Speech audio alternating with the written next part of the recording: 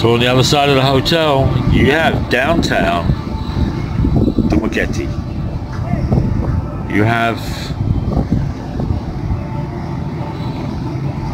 the bell tower and the park in the forefront. Then you have the rest of the city.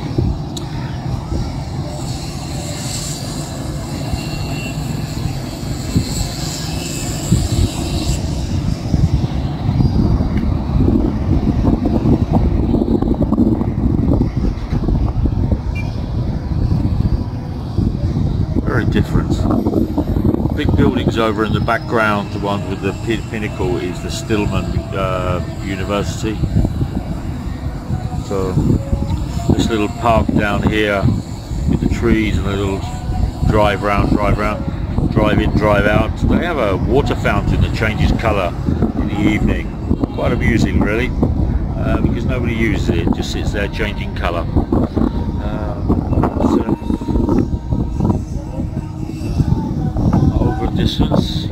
McDonald's, but this is a Saturday and you can hear Philippine music in the background, the guy's singing, um, he's doing his karaoke, uh, and there's downtown.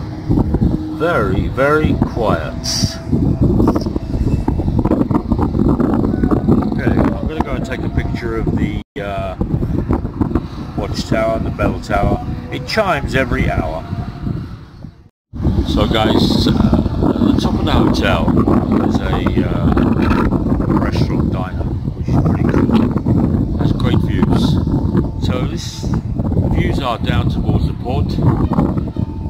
Uh, and then over the, uh, the distance is Island, and then where the building is in front of me, if you go further out, that's towards Cebu. Uh, there's Surigao, the island, Sikwa, and then tomorrow, where that little island down the bottom there is, going that way, down towards uh, Dapitan and Min- Mindanao, is where I will be sailing.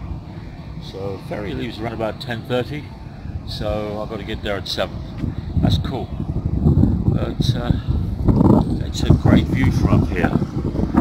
So, no drone, just a phone.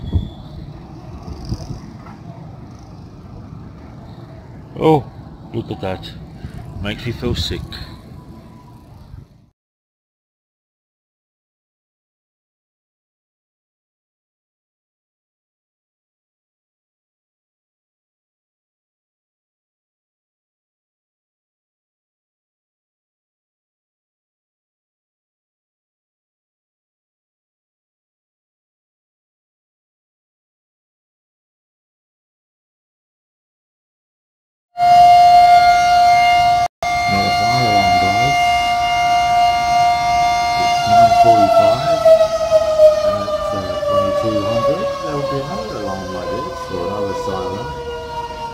Curfew for children or under minors.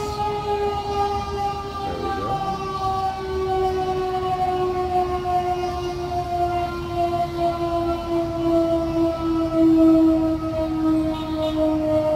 Happens every night.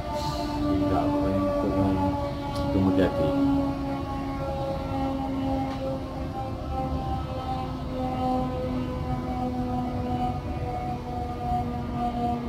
Ten o'clock curfew for minus. Okay, guys. It's not a war.